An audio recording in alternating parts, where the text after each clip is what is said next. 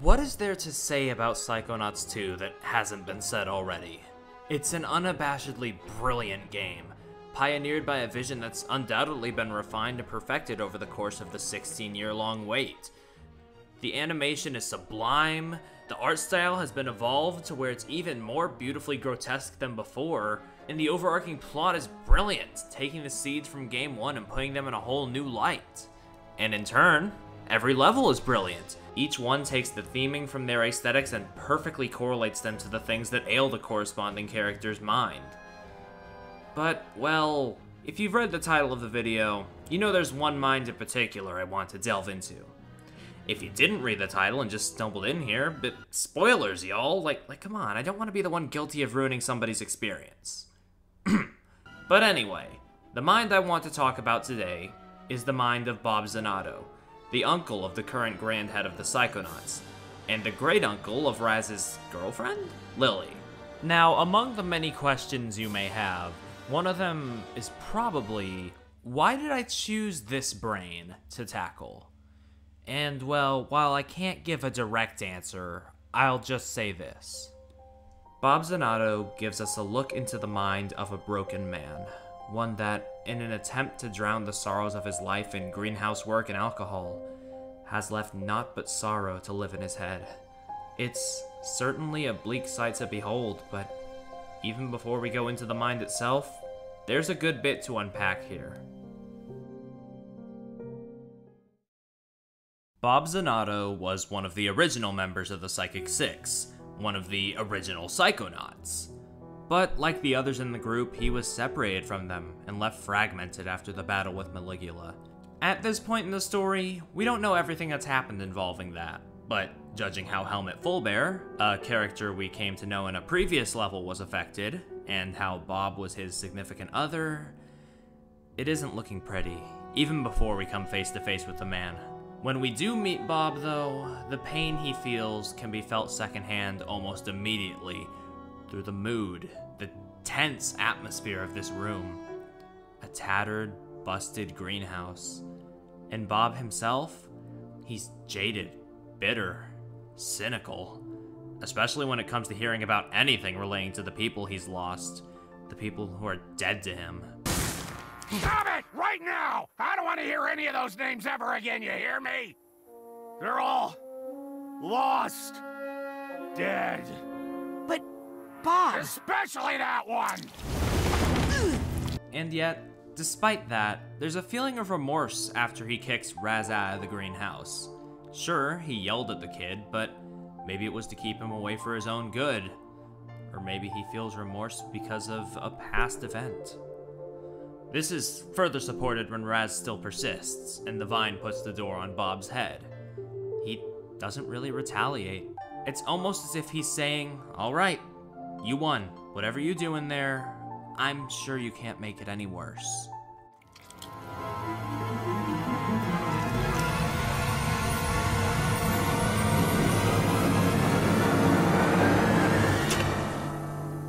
As we enter the mind, we don't really see much, except for an island. There's some pots and a fire that seems to have gone out, but besides that, not much. Each of the pots has a sign, recognizing the three main points we'll touch upon later. Bob's mother Tia, the Psychonauts themselves, and Helmut. The conversation between Raz and Bob initiates, and here we start seeing some of the gardening metaphors come into play. There's a heavy aura of isolation surrounding the very mindscape of Bob. Huh. What did you plant here? Plant? What kind of seeds did you use? Oh, seeds. Yeah, that's right. No seeds. Lost them all. Where'd they go? Out there, I suppose. Can't really remember. He's lost all connections with the world. The seeds which would blossom into his relationships are no longer there. But why? How did he lose them? Who can say? It's been so long that even his memory escapes him.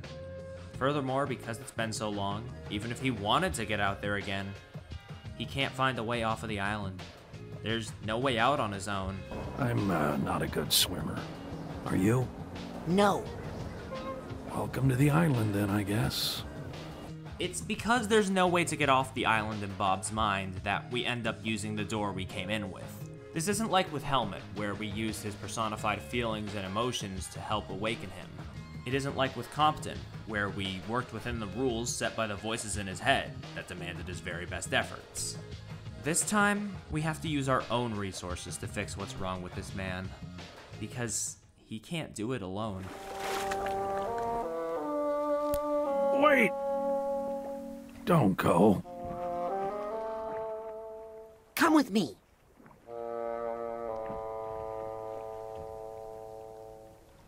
Despite how hesitant to be personal Bob is, though, ironically, this is still maybe one of Psychonauts 2's most personal levels.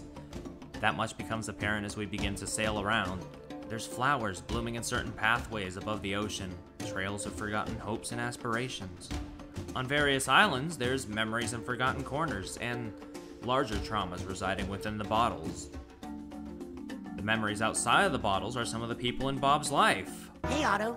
Glad Bob still keeps some friends around. Friends? Please. Or, well, the impressions he was left with before his isolation.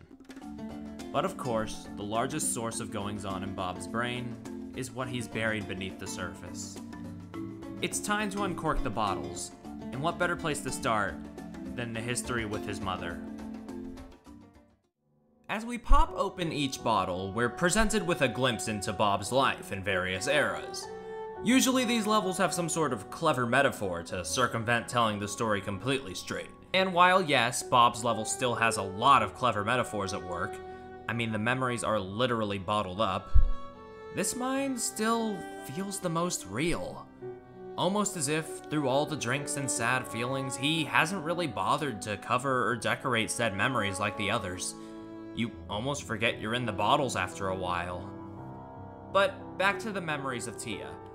Out of the three bottles, I feel like I might have the most to say here, which seems ironic because this is the one that Bob was trying to drown out of his mind the most. There's glimpses in the beginning of a past life with his mom, where Bob would attend a music recital as a young boy. Some details show how Bob had to take over a lot of responsibilities in the house, with it just being him and his mother there. But as we see more, his vision of this old home begins twisting and warping due to his forgetfulness. Shortly after that, we take a moment outside the house. And this section is where one of the main obstacles of the level kicks in the moth. While not necessarily an enemy you fight directly, the moth will obstruct your goal, stealing the bright seeds you plan to bring back to help rejuvenate Bob's mental blossoms, placing them in really far off locations. The moth seems to want nothing to do with rejuvenating these memories, and just wants to protect others from getting involved. I wouldn't want you to get hurt. Here, let me just take this somewhere safe. Wait, no, I want that. No, you don't. But what's the deal? Why is this moth so protective of the seeds? Aren't they Bob's chances to start again? Well, it'll become clear in due time. Going back to Bob's mind, though, we soon see the bulb bobs in this bottle, right after the little moth thing. Considering the greenery in these memories, I could see this being a metaphor, with Bob also taking a plant like form.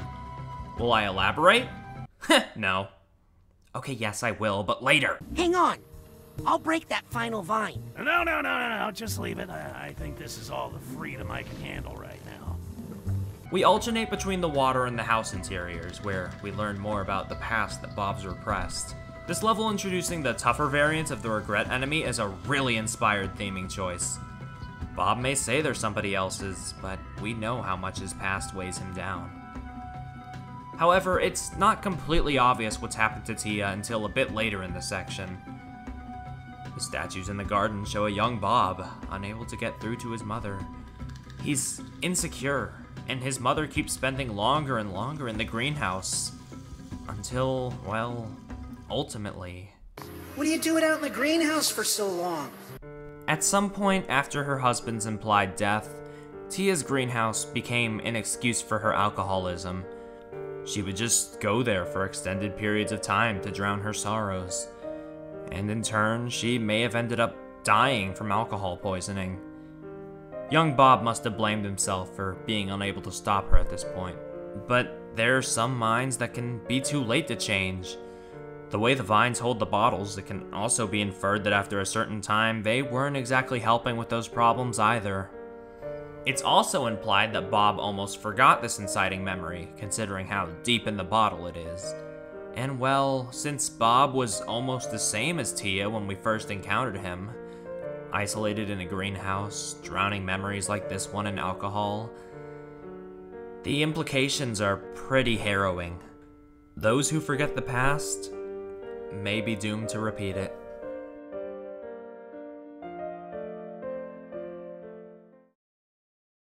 Next up are Bob's memories of the Psychonauts, memories he seems to remember a bit more vividly. We find another Bulb Bob, in a section where we use his water parting ability a bit more creatively. It's really interesting to me, the different facets of Bob and how they contrast each other, yet work so well in showing how he perceives himself. The bulbs repulse those around them, similarly to how Bob may feel he does when he's inebriated. This would explain the bulb form too. He's not quite fully bloomed or grown like this, still merely a tuber without his roots entirely settled. The moth. Oh, heck, the moth's here again. You're welcome What? for saving you from that time bomb. It's just a seed. Ah, but isn't a seed just a bomb in slow motion? No, no, no, wait, no, that's, that's, uh, I, I see where you're coming from, but, but you're wrong. As we enter the still developing Mother Lobe, the Psychonauts HQ before it truly blossomed, all the negative aspects of Bob's personality culminate around the entrance. And as we head inside, the Mother Lobe begins deteriorating. Everything starts to crumble and fall apart as we carry the bulb inside. The reason? We learn that Bob was fired from the Psychonauts by his own nephew, Truman. After the battle waged against Maligula, which caused Bob's love, Helmut, to be lost to the sea, Bob found himself in a deep, self loathing alcoholic spiral, the likes of which he was unable to cope or heal from. For the interest of what was left of the Psychonauts at that point, Bob had to be let go, despite his protests. But the question still remains just how close were Bob and Helmut before this happened, hmm? Well, I mean, Helmut's level does a good job answering that, but for the sake of this video, the question still remains. As we approach the third bottle, there's a sort of fondness to this one that the other two didn't quite have attached to them. I mean, before you even land, Raz finds himself sliding down the tube, and various figments of Helmut and Bob's relationship are scattered about the slide. It's clear this bottle houses some of the best years of their young lives. And while still submerged by alcohol in some respects, compared to the other two bottles, this last one is in much less ruin at first glance. We go through some trippy cake set pieces, and after that, we find ourselves at a recreation of Bob and Helmut's wedding. It's clear that Bob still blames himself for what happened to his beloved. That much is symbolized when Bulb Bob cracks the helmet statue atop the cake, and there's a skull in, in there. But the fondness of this memory far outshines these details. As we enter the wedding hall and hear the happy couple's vows, their love beyond anything else was pure and true. It was one of the few good memories Bob remembers among his troubled past. I, Robert Zanotto, take this man, Helmut Fullbear, the happiest day of my life. I used to think I loved plants more than people until I met this man. When these feelings appeared in my heart, I thought they were weeds and I tried to pull them out. But this mighty oak has given me shade, shelter, and something to lean on when I needed it. Just when I thought I was turning to seed, you made me bloom again. I do. I. I'm not crying. You're crying! After we retrieve the third and final seed, things should be wrapped up, right? All said and done, yeah? Well, yeah, but something isn't quite right. I'm just. I'm starting to remember why I got rid of those seeds. All brought together, the seeds start to take shape, growing and spiraling out of control into these hostile forms that start to tear up this world, slinging hurtful thoughts at Bob about how he couldn't keep his relationships together, how he left the important people in his life behind, or worse, to die. The thoughts that filled his mind with doubt, despite the fact that he largely isn't at fault, they resurface. All the while, the moth recaptures Bob, encasing him in a cocoon to protect him. Things continue to twist and distort throughout the battle, the rapids raging and the plants pouncing. It's a dire situation, one that makes it feel as if Bob's mental state may be too far gone to help.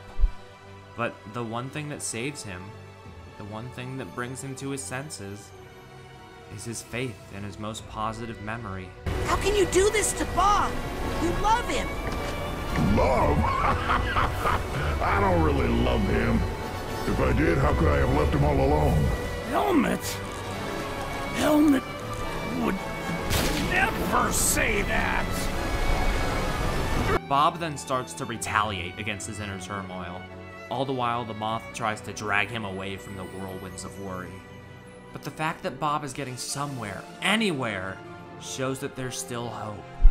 A spark, no matter how small, is still a spark. And as we defeat this greenhouse guilt trip, that spark helps Bob's branches enter a proper full bloom. The entire time, the moth was a mask.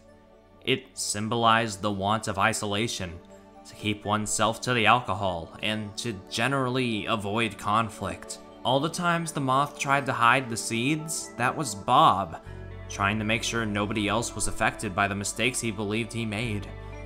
To make sure nobody else would see how he messed things up. This was foreshadowed by the fact that the moth itself shares Bob's face on its wings.